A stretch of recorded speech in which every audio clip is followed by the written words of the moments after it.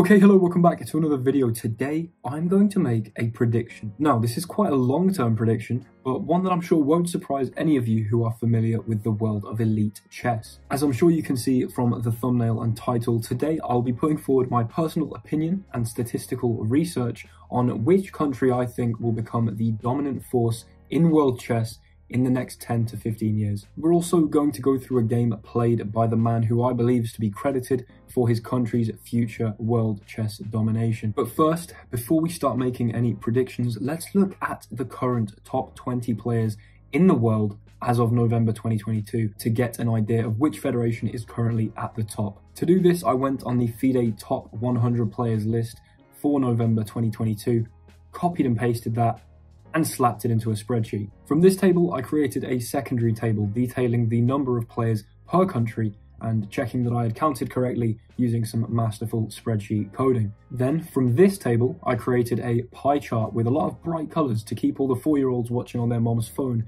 interested. One quick look at this pie chart tells us that the US and Russia are currently dominating the world of elite chess. Chessmetrics.com's graph of the state of world chess during Bobby Fischer's reign as world champion shows an American leading an almost entirely former USSR top 10. And a quick look down the FIDE World Championship list from 1950 to 1990 leaves the impression that these countries have been on top for a long time. Now, some of you may be asking, why did I stop at 1990?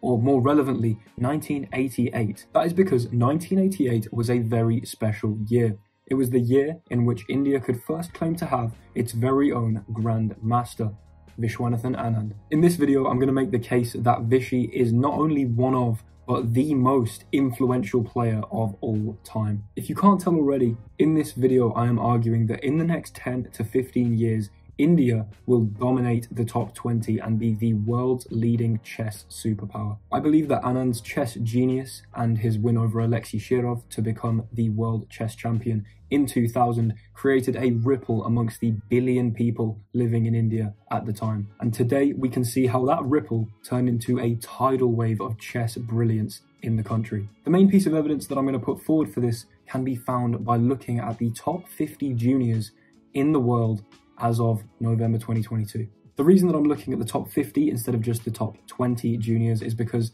their ratings are going to be a lot more volatile. They are younger, there's more room for improvement as opposed to some of the older players who are set in their ways. So, repeating the process from the start of the video, I took the top 50 juniors as of November 2022, put them in a table, made that secondary table, and made the pie chart. To me, this dataset represents the distribution by country of all the promising young players who I would consider to be candidates for the top 20 within the next 10 to 15 years. A quick look at the hefty orange slice of the pie chart shows an unrivaled dominance by India in the current top 50 junior players in the world. Using another bit of spreadsheet coding wizardry, I took the top 50 juniors and took a mean average of their age and did the same for the top 20 players in the world today. I took the latter average to be a decent estimate for the optimal age to be in the top 20 chess players in the world. However, I do believe that with the meteoric rise of chess computers, the average age of the top 20 in the world will decrease.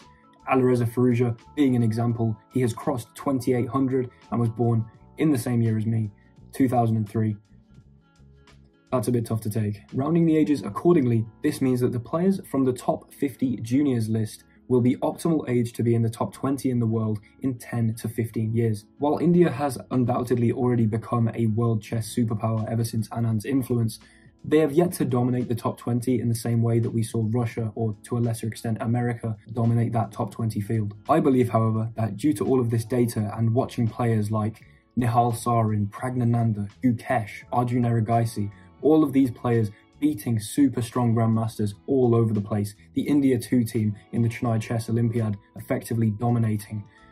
I mean, in the next 10 to 15 years, we will see India be the reigning superpower of world chess. Let's not forget, however, that all of this has stemmed from one man, the first ever Indian Grandmaster, Vishy Anand. And so, while I'd argue that his greatest victory has been in inspiring the wealth of chess excellence that now exists in India, he had some very cool victories over the board as well. So today I'm going to take you through one of my favorite of those games. Okay, so let's go through this game, but first, a bit of context. I will be making more videos in the future on Vishy's excellent chess games. However, today I wanted to take you through a game from 1984 that Vishwanathan Anand played at the young age of 14. I was heavily humbled during my analysis of this game, which is a 21 move, near perfect, surgical, principled demolition of the black pieces by Anand with the white pieces, played by someone four years younger than me in an era where chess computers were still, relatively speaking, rubbish. This game occurred in the World Junior Championship, as I said, in 1984,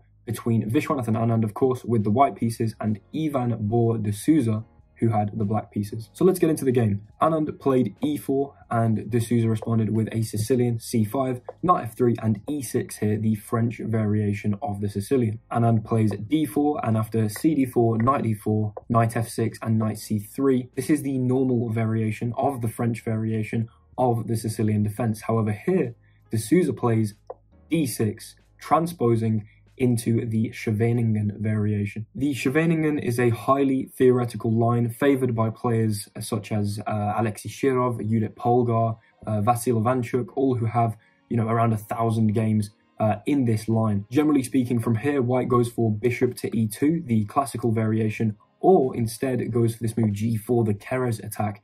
But instead of either of these, Anand plays f 4. This is known as the Matanovich attack, preparing the potential push of e5 as you will later see. de Souza plays knight to c6 and Anand just brings his bishop to e3, stabilizing that knight on d4 and you know, clearing the path for that white king to eventually castle queenside. Bishop to e7 here, and Anand goes for the Tal variation, queen to f3, sticking to the idea of removing those pieces out of the way of the king such that he can castle queenside nice and early uh, getting the rook on that lovely open d-file. Now, queen f3 is the first move for me that raises a bit of an eyebrow. I mean, putting the queen here before developing the light square bishop does seem a little bit shaky. However, this is theory, um, and, you know, this e6 pawn makes it kind of hard for black to actually attack the queen with a move like um, bishop g4. Actually, black's best continuation is e5, and after we would see takes, takes, uh, and white would have to play f5 to prevent that idea of bishop g4. However, this isn't what we saw in the game as de Souza decides to take the knight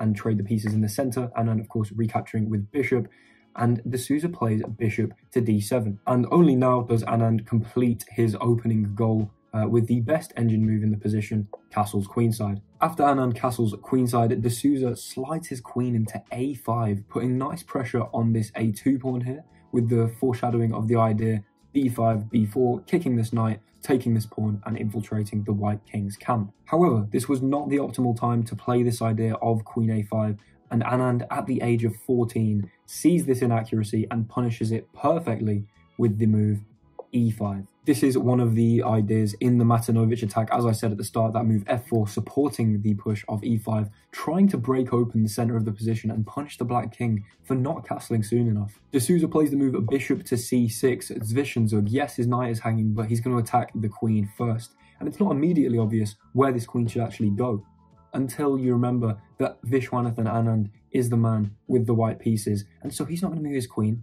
He's going to play bishop. That is right, bishop to b5. Now, obviously, bishop to b5 pins this light square bishop on c6 here to the king on e8, such that the queen cannot be taken. Fine, that makes sense.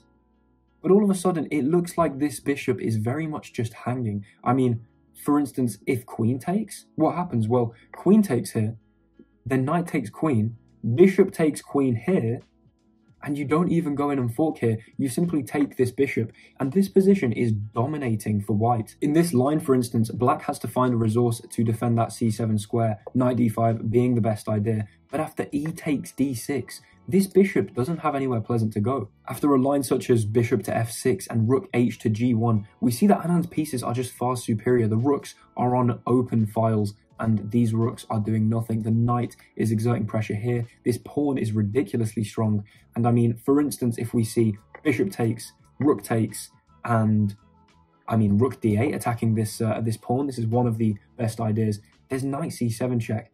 And if takes, there's takes here. The rook goes under here. And then there's rook d1. And I mean, yes, he can try and castle, but should he castle? the rook goes into d7, this pawn's here, you're going to be completely winning this rook endgame. And weirdly enough, Stockfish gives this position an evaluation of about plus 8. Now, admittedly, that was one quite long and specific line. Uh, I don't really have time in this video to go through every single possibility there, but that is the kind of position that Black would end up in should they take with the Queen. Just utterly dominated. Initially, um, if Queen takes, it's actually a plus 4.4 advantage for white immediately. I don't usually like using the engine evaluations to determine positions, but in one as complex as this, I think it's probably relevant. And you might be thinking, okay, maybe queen takes doesn't work, but surely bishop takes works. Why would bishop takes not work? Well, here we can play queen to b7, taking that pawn and attacking a bishop and a rook. All this time, the knight is still hanging. There are three pieces for black hanging in this position. The evaluation is plus 7.7. I mean, black king is still super weak. Um, if they try and castle, then you can just pick up the knight. You can also pick up the bishop it's a really good position for white. So funnily enough, after bishop b5, de Souza can't take. Instead, he goes for quite an intuitive move, knight to d5, stepping out the way of this pawn. And I mean, if you look at this position, black's position looks really solid. I mean, there doesn't seem to be any gaping problem with it. The knight secured by the pawns, the bishop securing this pawn here. I mean, everything's quite held. There's a lot of pressure being exerted. But Anand sees straight through this facade to the frailty of the Black King still in the center of the board. So how does he punish this? Well, of course, he tears open the center of the board with knight takes knight, forcing the pawn to take the knight here as the bishop is pinned to the king. Then he gets rid of the bishops with takes and takes, and finally plays e takes d6, finishing tearing open that e-file such that after bishop takes here, he can play rook to e1 check. And despite the position being materially equal, one look at the king safety and the activity of the rooks, these rooks being on the center files and these rooks literally being where they started, justifies Stockfish's plus 4.6 evaluation in this position for Vishy. de Souza has two options here. He can either move his king or block with the bishop.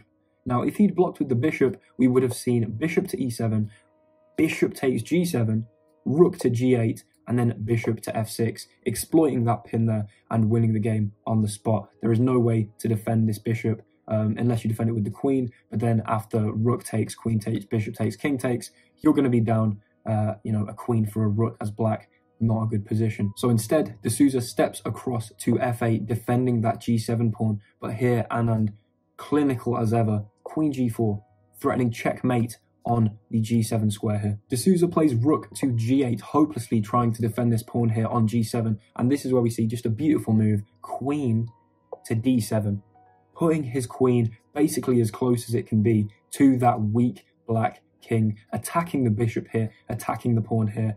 And there's not much more to be done. de Souza tries to play a queen to d8. I mean, seems to defend this. It seems to tie everything together quite nicely. But in this position, there is a beautiful knockout punch that Anand delivered. If you want to try and find it, pause the video here. If not, the move is rook to e8. After rook to e8 check, this sequence is completely forced. Queen takes on e8, the only legal move. Then queen takes bishop. That queen has been deflected from the defense of the bishop. The only legal move here again is blocking that diagonal with queen to e7. And just calmly, Anand picks up that c pawn. Now the real reason he played queen takes c6 here is not to win a free pawn, it's to clear that diagonal towards the king and queen. Anand is ready to play bishop to c5, pinning the queen to her wildly useless husband who really never made it out of the center of the board. So it was after this move, queen takes c6, that de Souza resigned and Anand won a beautiful game in 21 moves. Thank you very much for watching. If you enjoyed, which I really hope you did, I put quite a lot of effort into, especially the start of this video um, then you know leave a like, comment, all that helps the channel uh, grow, which is obviously what I'm trying to do here. I'll come back to this video in 10 years and say I told you so when the top 20 are all Indian. See you in the next one. Goodbye.